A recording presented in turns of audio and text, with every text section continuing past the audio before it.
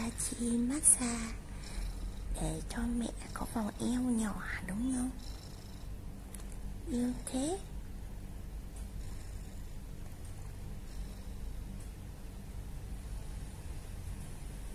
Ngày nào cũng có đứa lên đây massage bụng cho mẹ. Đây lên, dáng mẹ mới đẹp, đúng không con? Massage đi, rồi tí nữa bo cho một cây xiao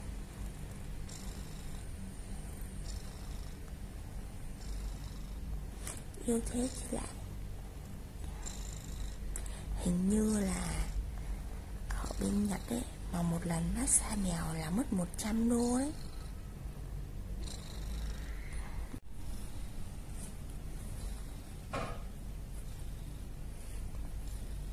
ngoan lắm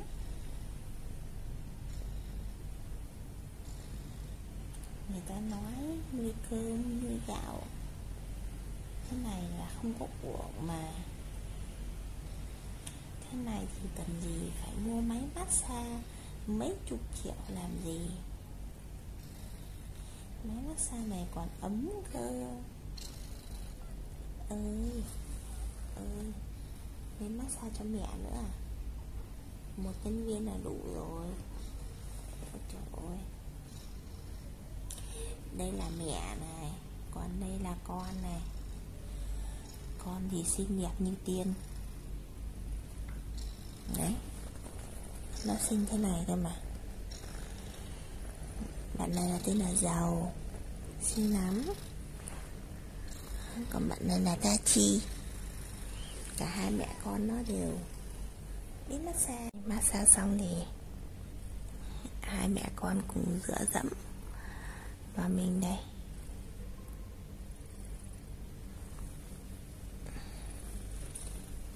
Con mẹ thì xấu gái, mà đẻ ra con con xinh thế. Con xinh là do ông bố đấy. Mẹ còn bị cạo lông chứ. Đã xấu, nay còn xấu hơn. Nhưng mà em không quan tâm đâu bởi vì là tốt cổ hơn tốt nước sơn. Là chị massage đây nữa đi. Chỗ này này. Massage nữa đi. Tí mẹ cho ăn thêm phô mai nữa. Có được không? Có được không? Hãy nhìn vào mắt mẹ và nói đi. Cả các bạn nghe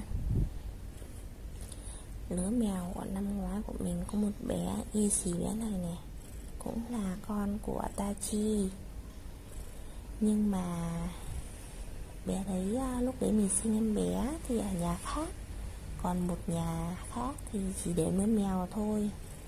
Hai nhà cách nhau một km em bé còn bé lắm, dưới 6 tháng tuổi thế là mình cứ phải đi đi lại lại giữa hai nhà. Đợt đấy thì à, cái bé mà giống bé này này bị ốm nó mới à, bị đau mắt đỏ bình thường đau mắt đỏ mèo thì dễ chữa lắm. Nhưng mà à, lúc đấy kiểu không có thời gian mà một ngày chỉ sang được nhà bên kia có một tiếng thôi lại là phải về ngay. Vì em bé quấn mà nhà không có người chống hộ thế là về sau bé khi bị đau mắt đỏ nó ngứa nó lấy tay nó gãi mà nó có móng tay ấy. Nó cào nằm rách rác mạc của nó cuối cùng thì một bên mắt bị đục.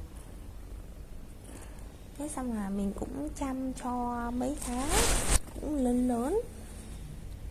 Nhưng mà do điều kiện lúc đấy cũng có nhiều mèo rồi ấy, không thể chăm nổi nữa. Thì có một bạn cũng yêu mèo lắm. Mình cũng biết là cho bé sang nhà đấy nhưng mà vừa sang được một hôm thì bé nhảy lầu. Bé chết thế là lúc đấy mình buồn lắm, bởi vì bé, lúc bé còn sống, bé ngoan ơi, là ngoan, quấn ơi, là quấn. Quấn đi hệt như bé này này. Lúc đấy là mình phát tâm cầu nguyện. Bảo nếu mà có đầu thai lại thì mẹ sẽ à, chăm con cẩn thận, nuôi con cẩn thận. Bé đấy là cái trường hợp mà mình hối hận mãi mà bình thường à, bà ta chia bá đẻ bà không tha cái màu này đâu. Thế là cuối cùng, cái lứa sau này này, đẻ ra một bé y xì kia.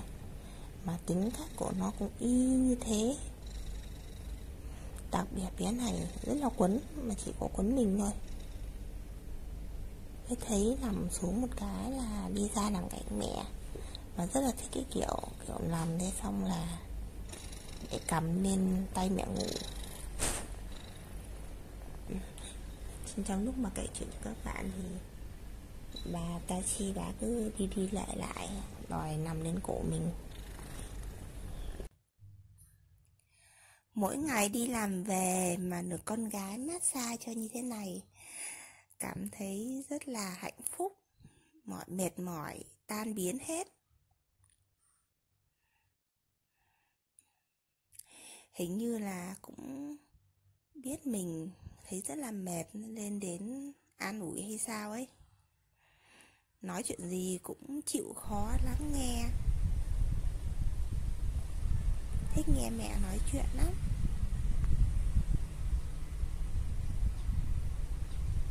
Mà càng nghe thì là càng thông minh hơn yêu quý nhau hơn đấy.